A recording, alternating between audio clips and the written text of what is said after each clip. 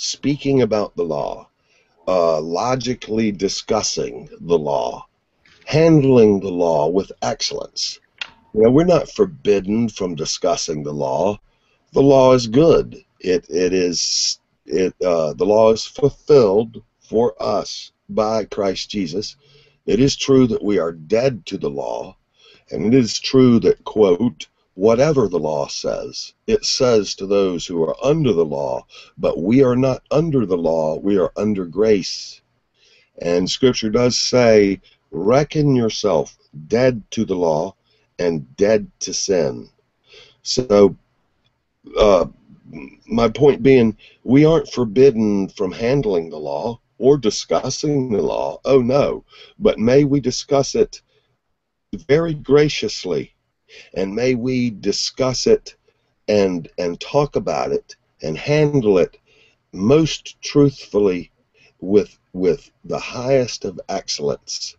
Um, thy shout, love the Lord thy God with all thy strength and mind and and will. Uh, I can't even quote it almost, but and and love your neighbors, you love yourself. To discuss the law is not forbidden, but may we discuss the law, and, and of course it's always love is good to love our neighbor, to love God is good, but but the thy shout part, which is inseparable.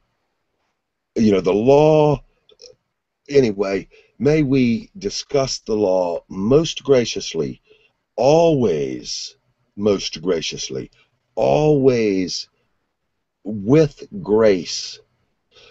To discuss the law recklessly, to proclaim the law without grace, is is juvenile, it is obsolete, it is forgetful, it is hurtful uh, to handle, to discuss the law with grace, in the light of grace, uh, is to handle the law excellently.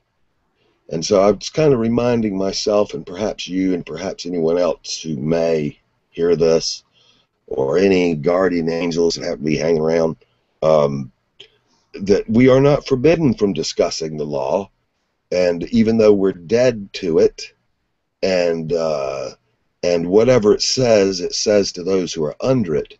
The law is not annulled; it's just fulfilled, and and uh, and we are not forbidden. It's like oh, we can just talk about oh, we can only talk about grace. We're commissioned to talk about grace. True, we are commissioned to talk about grace, but we also are are commissioned to talk graciously about the law at appropriate times and in good ways. We are not forbidden from handling the law with excellence. The Apostle Paul said this He says, Don't you know what the law says, you who insist on going back to it, or you who insist on keeping it? Don't you know what it says? Cursed is everyone who does not continue to do all things that are written in the law to do them.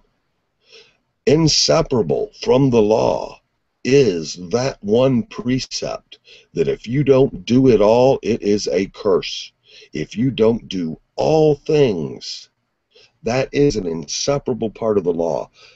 Thou shalt not covet.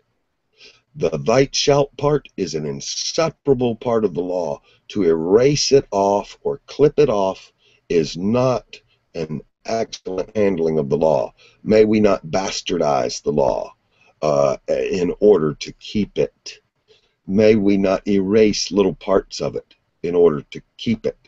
Uh, may we handle it in an unaltered, unwatered down state, but with grace, with grace that thank God he has met the righteous requirements of the law. Thank God we are redeemed from the curse of the law. Thank God by his blood, by his crucifixion, we do not serve according to the law, but in a new way, a new spiritual way, a way in which good is done through us that the law could not do. Good gets done through us by the power of God through the Holy Spirit in a way that could never be done through the law or through the precepts of the law. The law is good, but it's only good for what it's good for, and no flesh is justified by the law. Uh, in Galatians chapter 3, it says, This only I want to know from you. Did you receive the Spirit by obedience to the law or by believing what you heard? Um, the Apostle Paul said in another spot, Do not touch, do not taste, do not handle. Why do you submit yourselves to these elementary principles of this world as if they could help you in discipline of the flesh? those who argue for such things, the, this persuasion does not come from God. And I wish that those who persuade you in this manner would go all the way and emasculate themselves. He seemed to be quite irritated at at good intentioned men who who promoted the law as a way to be just, a way to be righteous, as guidelines or or a way of service to God. He, he seemed to be quite indignant about these men who promoted the law instead of grace. Uh, in in Acts chapter 15, there's a, was a, a squabble arose. Uh, some of the believers in Christ Jesus who were of the sect of the Pharisees came and proclaimed, "Oh, we must compel the Gentiles to be circumcised." And after a, some substantial arguing and heated debate, uh, Apostle Paul stood up and said, "Hey, hey, hey, hey! Uh, look, why should we compel Gentiles to do what we and our forefathers could not do? Keep the law. Why should we lay the law on them? Uh, just encourage them to uh, avoid sexual immorality. That's good. And uh, uh, avoid drinking blood. That's good. The Apostle Paul did not reveal new law. The Apostle Paul, at that point in Acts, exhorted men graciously. It is gracious to exhort men to avoid sexual immorality, reckless sport, fornication, or or reckless, uh, youthful, mindless, uh, yeah, sexual activity, heartbreaking activity, uh, dangerous sexual activity. It's good to exhort people to depart from iniquity. It's not legalistic, it's just plain a good directive. It's not a new commandment from God. It's not a thou shalt not be sexually immoral. No, it's not that. It is it is good to depart from youthful folly. It is a it is a directive, a gracious gracious exhortation from God. All apostolic exhortations are exactly that exhortations. There is not one that is a new commandment from God not even one. The law was fulfilled. There is no new law. There is grace. The law has been fulfilled. Thank, God. Thank God for his mercy. Thank God for the new way, for him, for the spirit, you know. Good re- Yeah. That's yes, right. Good, Good religion is gracious, truthful, and above all, loving. Yes. Yes. And I was thinking about the verse when you were talking, therefore, by the deeds of the law, there sh- shall no flesh be justified in the sight, but uh, by the law is the knowledge of sin. We know the Bible says that uh, sin is transgression of the law. Jesus fulfilled the law, He, t- he took away our sins. Uh, we're in a state of grace. It's something to remember because it's not to remind people so oh go out and live like you know like you said in your youthful folly. It's to remind people because we're sinners and some people are very hard on themselves. Um, some people can be very self-condemning. I think there's a scripture that says even if we condemn ourselves god is greater than our hearts. And knows all things thank god yeah thank god um, you know, thank God that our, our salvation isn't dependent on us. It's not something that derives from us. It's something God has called forth. He sustains and he, and he finishes the work that he that he starts. Um, but yeah, it's very a lot of. I think that's a problem in Christendom. A lot of people can be very self-condemning and, and not looking towards the cross, looking to themselves, maybe looking to other people um, as a standard. It's so comforting to be self-condemning in a in a juvenile kind of way. It's comforting to feel bad over our youthful indiscretions. It's it feels so just to embrace feeling like a worm over what has been paid for by Christ Jesus at a high cost, his blood. It feels justly required to feel like hell over missing the mark or over compulsive sin or you know guilt and embracing guilt in a juvenile kind of way can feel very just but but um, may we may we understand that no suffering we do pays for sin. Uh-uh. No suffering is is a penalty for sin. Christ Jesus bore our penalty. His suffering, his suffering and his blood is the only thing and it is full enough to pay the full penalty of all our violations of law that we've ever done or may ever do, even though I'm dead to the law. Some might say, Oh, Tom, you worked on the Sabbath. Or, Tom, you stole a paperclip. Or, Tom, you uh, were unloving to your neighbor when you hit him. Or, you know, whatever. Someone can judge me according to the law and say that I'm a violator. But whatever missing the mark that I have done or will ever do as I mature, as God matures me, whatever sin that I have done and will do is only paid for, all of it paid for by God Himself. He is the provider of perfect righteousness. He paid the perfect righteous requirement of the law, even down to the death penalty for one violation. For one violation, even one, or 10 million, like the chief of sinners himself. Who was he again? The Apostle Paul considered himself the chief of sinners, even though he excelled above all his peers in compliance and obedience to the law the law is not of faith, but the just shall live by faith.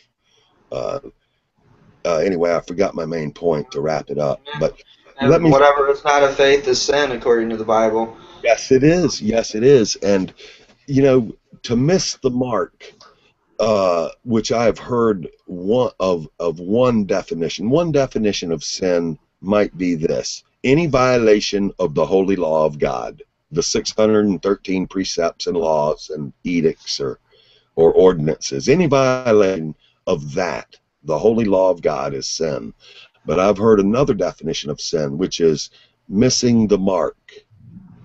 Or I've heard another definition, which is anything that is not of faith is missing the mark, is sin.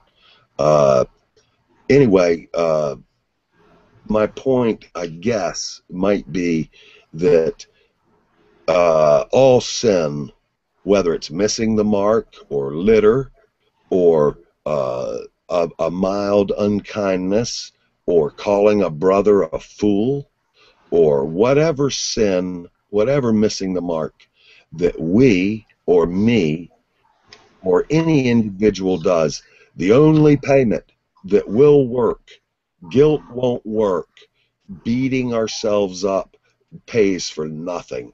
The only sufficient payment, and it is sufficient, is his crucifixion and his blood, and it is finished. We are forgiven eternally. We are have been given his righteousness, thank God. Uh, we have been given his purity that we need. that we cannot be with God without absolute pure righteousness. It says, Your righteousness must exceed that of the scribes and Pharisees. You know, uh, the righteousness, the pseudo righteousness born of the law ain't cutting it.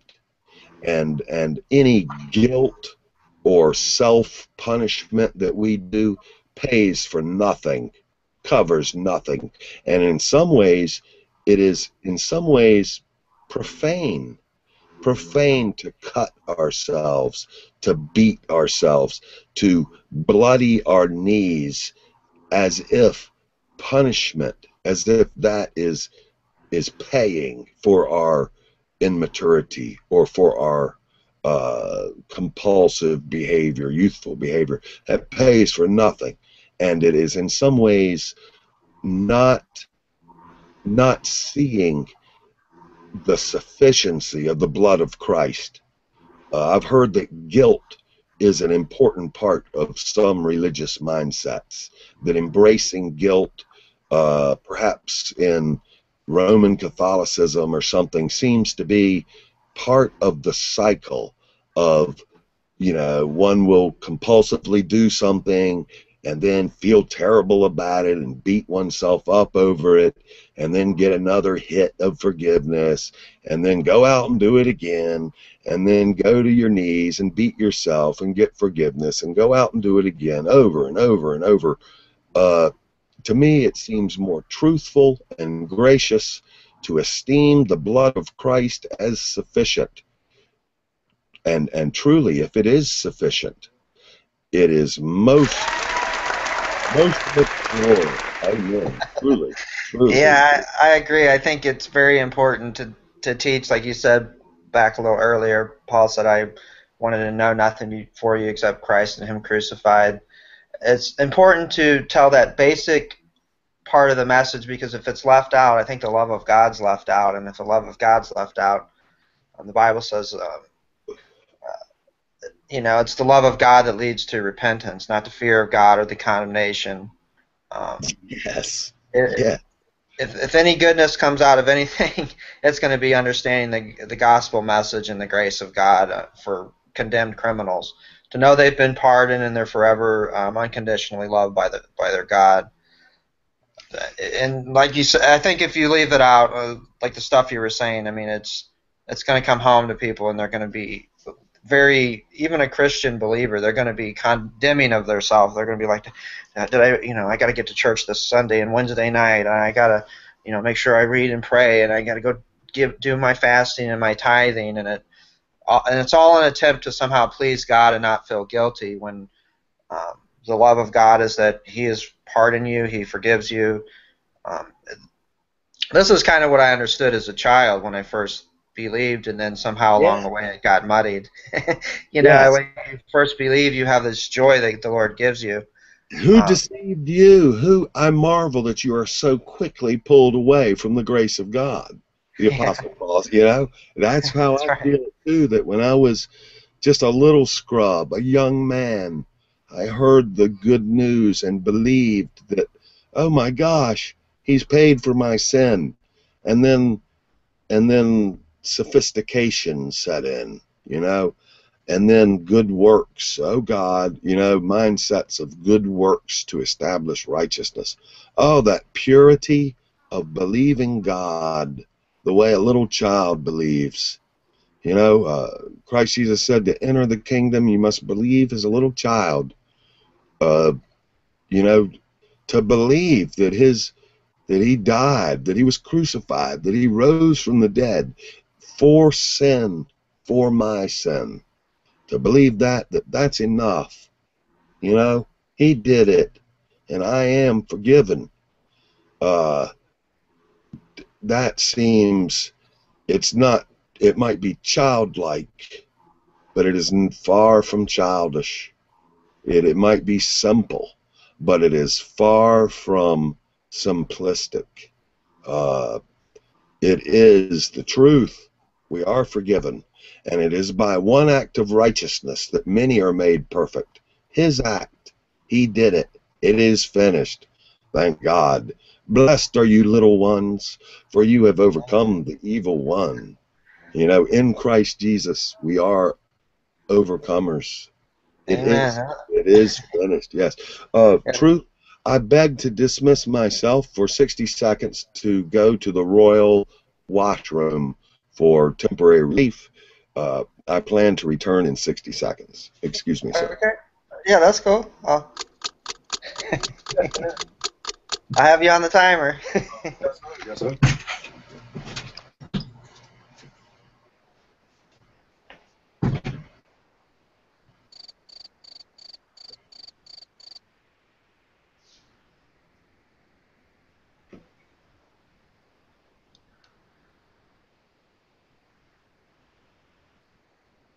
Of course, we're talking about the grace of God in here. If anybody wants to come in and share the grace of God, um, what God's done for you, and your particular perspective on the grace of God, you're more than welcome to come in.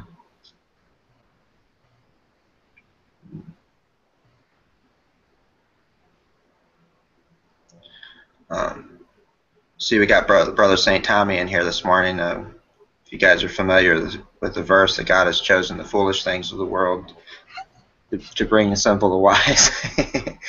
um, that's the truth. God has chosen us. If you look, that's what the Bible says. If you see your calling, brother, and look that not many wise, not many noble, not many um, mighty, according to the flesh, were called, but God has chosen the weak things of the world. And definitely can say that of myself. I take absolutely no confidence in my flesh, and um, and I, and I take no confidence in any success I have in life. That's for sure. I, all my faith and hope is in the Lord, and uh, I'm giving a little speech over here, Tommy.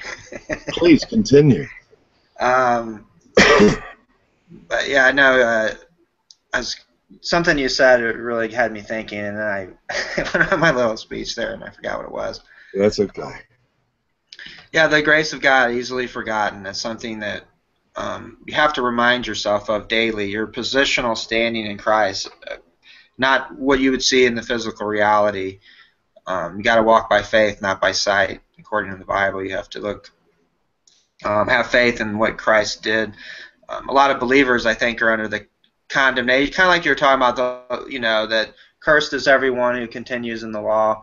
I think a lot of believers have that sort of mindset, and it's just like the other verse you said that um, Paul said. Um, I'm surprised that you've been bewitched to another gospel, which is not another gospel. Um, eh, you know, and that's it brings a condemnation with it, and, and rightfully so. If you're in a mindset and you're condemning yourself, and it, it is it is there for a reason. It's there to bring you more to the grace of God, and you can be there for years if you want. If you want to torture and have a guilt trip and feel bad about you know who, you are as a person and your failings before God, that you can ride that train until you're until you're miserable, uh, or you start you know fully putting your trust in the, the Lord and Savior you believe in, just like you did when you first were a child. I know that's what we were talking about. I, um, when I, and it's perplexing too because when you first believe, I, you get this joy. At least I did. I remember specifically the you know very spiritual feeling the night I was reading my Bible and felt like uh, you know God was speaking in my heart and this was the truth. And then as life went on, you can start sort of look at yourself and be like, well, you know, maybe God doesn't love me anymore. And, and yet God knows all things from beginning to end. He knew my future be- when He came to me that night, and I don't think He was surprised by anything I did ten years down the road. Um, thank thank God that he's that he does have that knowledge, and it's not like things take him by surprise. And and then he was like, well, I didn't know you were going to do this ten years down the road. I, I would not have given you the grace we we talked about here. Uh, no, the g- grace of God extends as deep. Uh, it goes deeper and deeper and deeper than you could imagine. That's um, where where sin abounded, grace abounded much more. Thank Um, God. And you know, hopefully, you know, this was a good topic. I was hoping to get more believers on here to share that, um, that you know, their freedom and their love for the Lord, what He's done. Well, you got one. You got one believer in here, and I am grateful. I am Truth Spell. I'm grateful to God, and also grateful to you. Uh, hit my man. I feel the same way. I'm glad I came across you. I know, unfortunately, um, well, maybe I won't say it, but Yeah, shall we Um, discuss that? Shall we discuss whatever that you were on the verge of saying in private, perhaps? Or, uh, uh, Yeah, I think I think we will probably um, wrap it up pretty soon here, and I'll save that thought afterwards. But Tell you what, uh, uh, do you plan on publishing this uh, this particular segment? Yeah, I think so. I think I'm gonna. I think I am gonna keep it up. You know. very yeah. good. Well, tell you what, then I would like to bow out at this point. But if if if I could, there's there's something very gracious and good that I wish to discuss with you in private. And so, if Oh, you've got a couple of more minutes for me when we do wrap up, I'd be most grateful. No, yeah, I think this is a good time, man. I think Good. I'm gonna go ahead and wrap it up. Um, so yeah, if anyone's joining, I hope you got something out of this, and maybe a deeper understanding of the grace of God, something that we all can definitely use. So, any Bless last words, Tommy? yes, bless any hearer, bless any listener, any hearer with more grace. Bless you and all you love and all who love you in the name of Christ Jesus. Amen.